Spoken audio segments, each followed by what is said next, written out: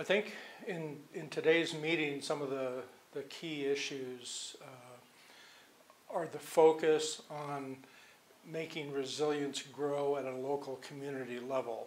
We tend to think that big things happen at the federal level, but in this case, resilience uh, necessarily grows out of local effort.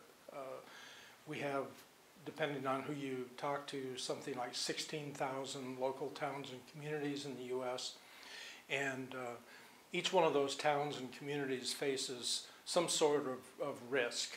And the responsibility for uh, assessing, identifying and assessing those risks, and then taking steps to uh, mitigate the risk through some sort of uh, resilience building program lies with the citizens of those towns, uh, with their local leadership, uh, as assisted by state, uh, federal uh, officials. But the primary responsibility ultimately lies with the, with the local citizenry.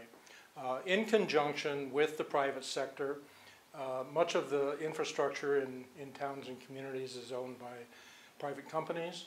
And so any discussion of uh, hardening infrastructure or, or making infrastructure more resilient has to include the private sector. Um,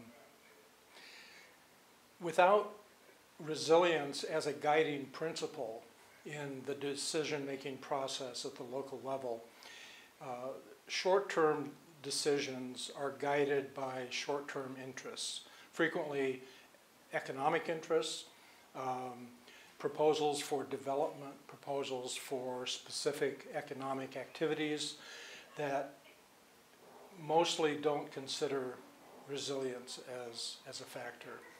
In order to build resilience in a community over time, and it is a, a long-term commitment, you have to infuse every decision that's made every day in that community with an awareness and a determination to build resilience.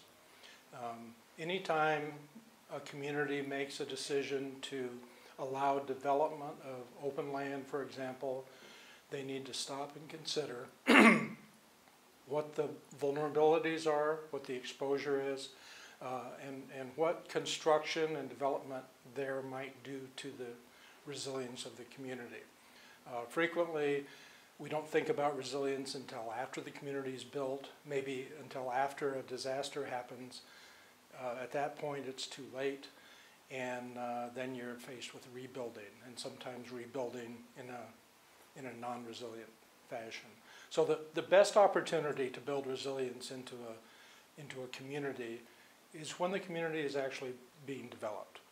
Uh, but since most of our communities are, are already being developed, um, it's, it's important to have the resilience mindset shaping those daily decisions as there's a turnover in infrastructure, uh, redevelopment of different parts of town, different economic opportunities and activities in town, so that uh, resilience is sort of built into the community rather than uh, trying to come back in later and, and uh, lay a, a, a layer of resilience over the, over the town the two panels, one on uh, developing a resilience culture, talked about developing trust among citizens uh, in advance of disasters. I think that's very important.